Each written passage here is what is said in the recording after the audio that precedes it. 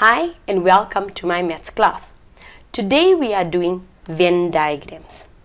Now Venn diagrams for some odd reason scares children. But Venn diagrams are one of the best and easiest way of calculating your information. When we are doing Venn diagrams, what we must remember is that the Venn diagram is made up of your sample space. Now in this space, we want everything. Now what we do is, we have circles inside. Now these circles represent events. So I could have event A and event B. Sometimes these circles overlap and sometimes they don't.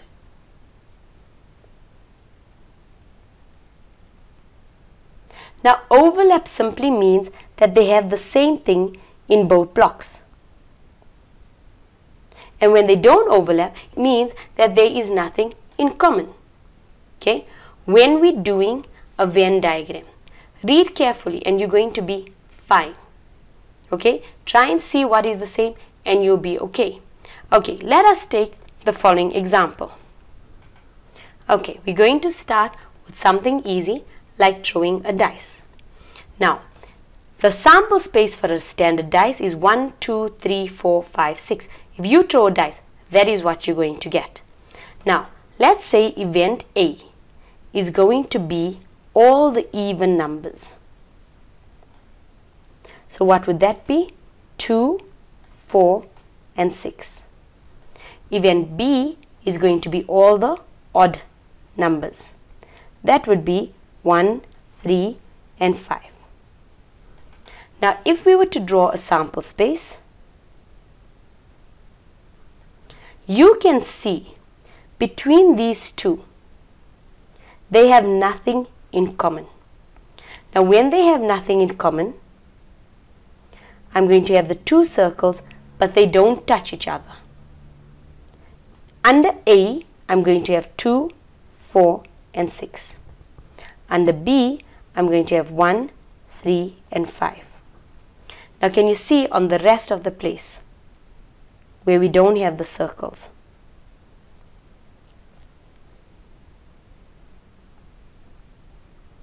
I'm not writing any numbers because I've used all of the sample space already. Now let's do the same thing but slightly different. We have the sample space again 1, 2, 3, 4, 5, 6. Our event A is even numbers. Our event B is all numbers less than 5. So that would be 1, 2, 3 and 4. Less than 5 means below 5. Now again we have our block. We have our two circles. But look at what you should notice. That there's a 2 in the first choice and there's a 2 in the second choice. There's a 4 in the first choice and there's a 4 in the second choice. Which means we have an overlap. When the result that you're looking for is in more than one of the events, then we know, okay, we have an overlap. So if I take event A, I have 2 and I have 4. I also have 6. So the entire A, if you see, it has 2, 4, 6. Now, let's look at event B.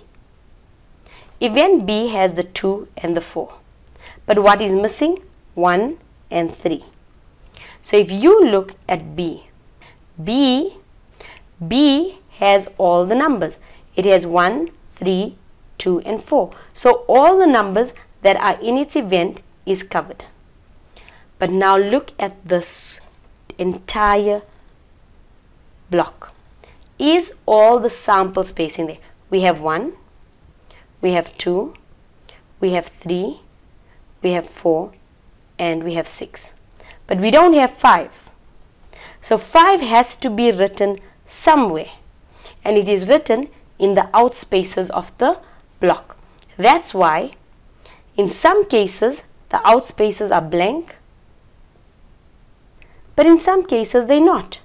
you need to make sure that the S, the sample space, has all the sample space in it. If it's not in an event, so it's not in a circle, it has to be in the outer space of the sample space. Thank you for watching.